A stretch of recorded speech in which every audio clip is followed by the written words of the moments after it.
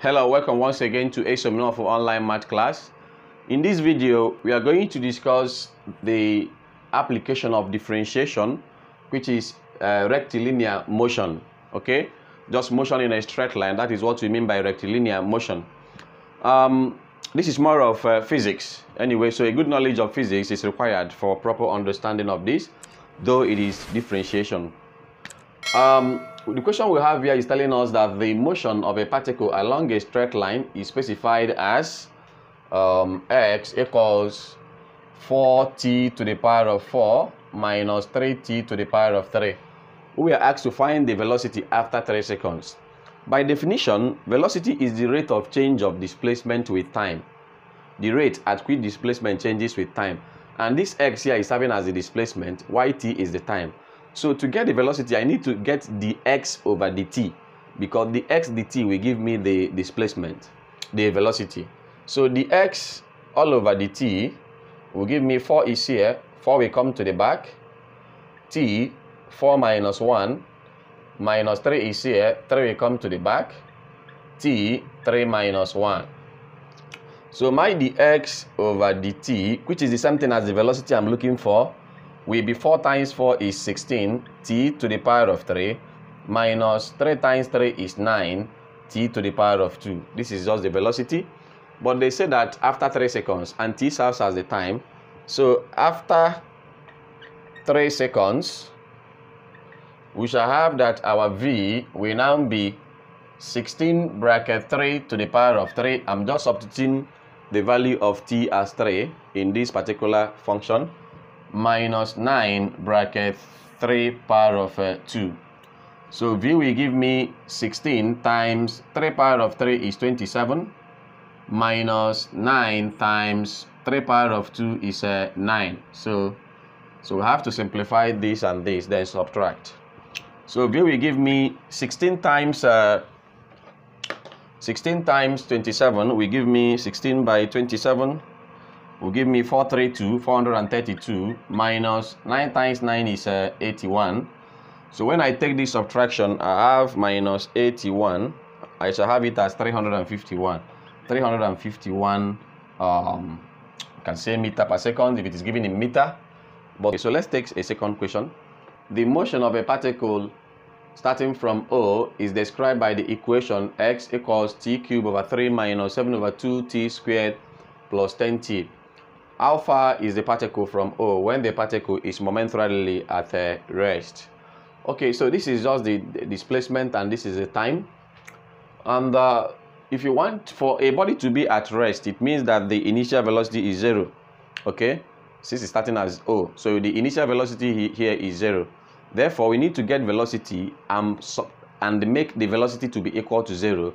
Solve for t to get our t then plug back in the original equation to get how far because how far talks about distance. So the idea here is to differentiate this to get velocity, make that velocity to be equal to zero since they said it has to rest.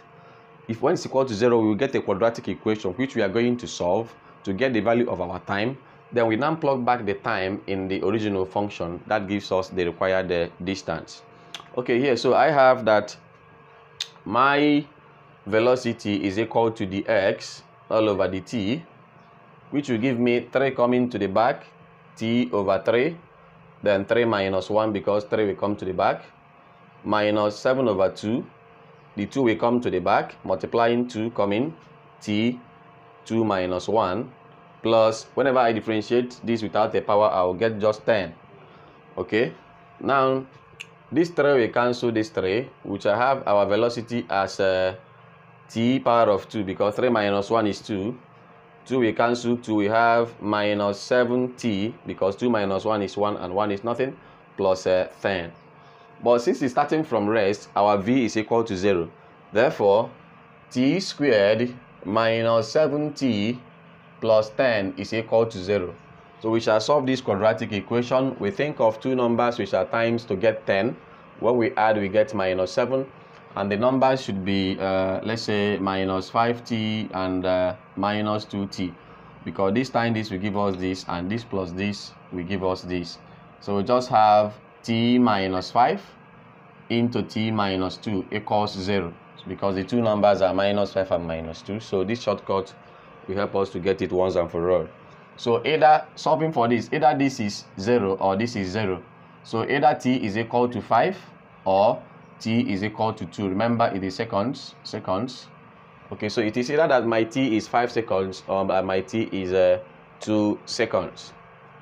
Now I've got my time. The time is not the answer. What I need is the distance and distance x or displacement equals uh, t cubed all over 3 minus 7 over 2t squared plus 10t that is the original function.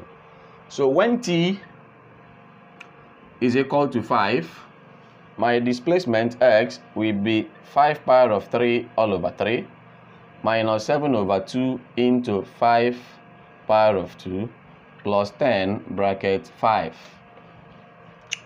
Here 5 power of 3 will give me 125 over 3 minus uh, 5 squared is 25 so I have it as uh, uh, 25 is here we multiply 7 so 25 times 7 will give us 175.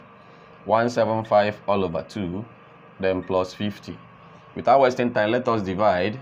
125 divided by 3, 125 divided by 3 will give me uh, 41.67 minus uh, 175 divided by 2 will give me 87.5 then plus 50 so my x will be I'll add up 41.67 minus 87.5 plus 50 I'll have 4.17 meters. This is just the distance when t is 5 so it could be this or another thing altogether. So let us solve when t is uh, 2 seconds. So when t equals 2 seconds I have that x will now be seeing t, I'll put a 2 power of 3 over 3 minus 7 over 2 into 2 power of 2 plus 10 into 2. So x will give me 2 power of 3 is 8 all over 3 minus 7 times 2 is okay. 2 squared is 4.